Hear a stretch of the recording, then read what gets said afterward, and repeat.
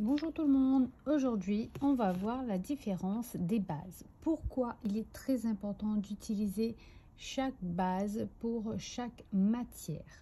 Alors nous allons commencer par ces deux-là. Donc c'est une base pour les semi-permanents et vous pouvez faire des mini constructions euh, avec. Donc c'est très très tendance.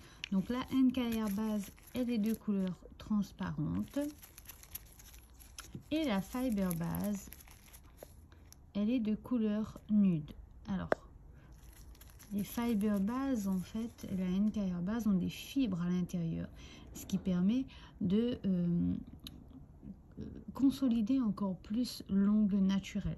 Donc, par exemple, si votre cliente veut juste un renforcement d'ongle, vous faites une à deux couches euh, de ce produit-là ou de ce produit-là, donc en nude ou en transparent. Vous mettez votre finition et le tour est joué ou alors vous servir de base. Alors, euh, en vous servant de base, je vais vous expliquer donc tout ce qui est base pour la, le semi-permanent. On va considérer que la base semi-permanent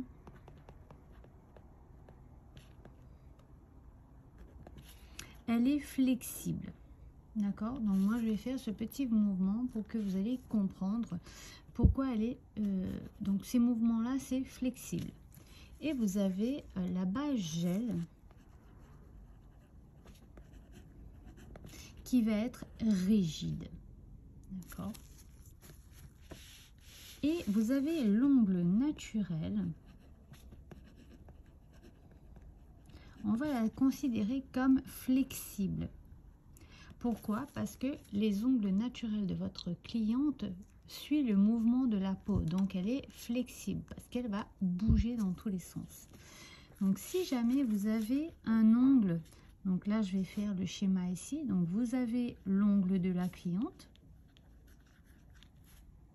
Ok. Vous allez mettre, je vais juste changer de couleur. Voilà, même pendant mes cours, euh, j'aime bien de couleur, on voit mieux ce qu'on fait.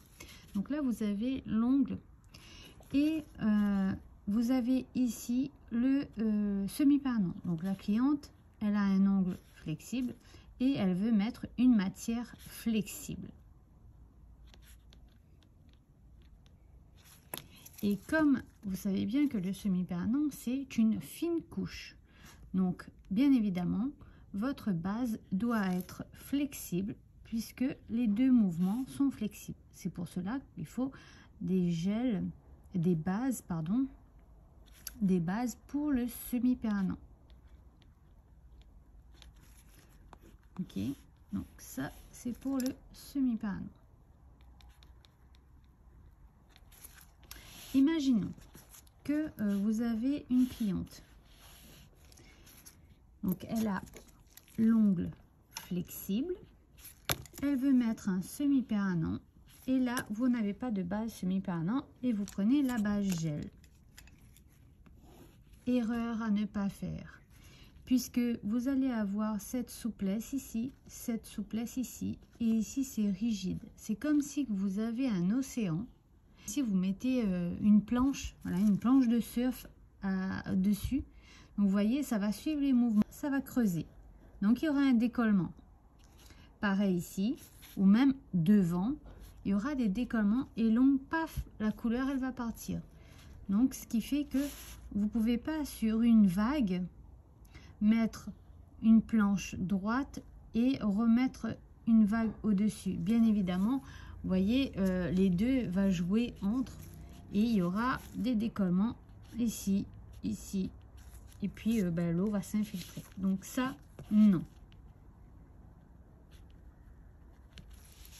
Ensuite, vous avez une cliente qui fait une construction cette fois-ci. Donc, vous avez l'ongle de la cliente.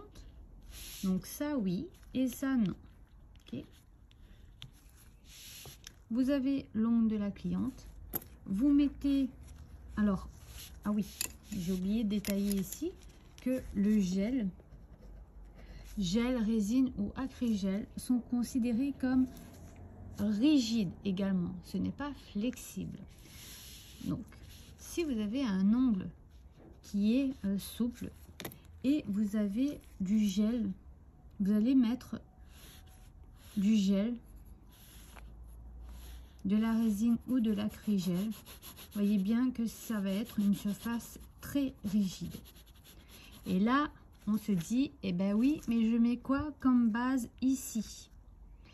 Alors, si vous mettez la base flexible, c'est-à-dire si vous mettez la base du semi, parce que vous n'avez pas de base gel, ça va suivre l'ongle, mais qui va dominer? C'est le gel, parce que le gel est en plus grosse quantité que l'ongle naturel.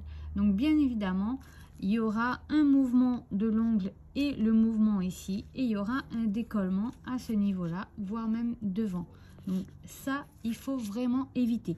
Alors vous pouvez le faire en cas d'urgence on va dire euh, si vous manque des produits mais il faudrait que ce soit du très très court. Parce que le poids euh, ce gel là ne va pas le supporter. Donc ne faites pas celui là si vous avez donc un ongle flexible et vous avez une matière très épaisse dessus, donc rigide, vous allez toujours mettre une base rigide. Et là, on va me dire, ben oui, mais euh, là, il y aura des décollements. Non, parce que cette base, elle va coller sur votre ongle, on est d'accord Elle va créer une couche collante pour que euh, ce produit adhère à votre ongle. Et du coup une fois que ça va catalyser ça va euh, transformer votre ongle qui est très mou en matière très rigide. Donc votre ongle il sera dominé par cette matière et donc il va être euh, très rigide. C'est pour ça qu'il est très très très important de mettre les bases qui correspondent à la matière. Un pot comme ça va vous durer quand même beaucoup de temps et puis vous n'avez pas de retour de client, ça c'est très très important. Donc vaut mieux acheter euh, une base performante que d'avoir des retours de clients et se demander euh, quelle est mon erreur. Voilà pour mon explication pour les bases. J'espère que ce mini cours vous a plu et je vous souhaite une excellente soirée et à très bientôt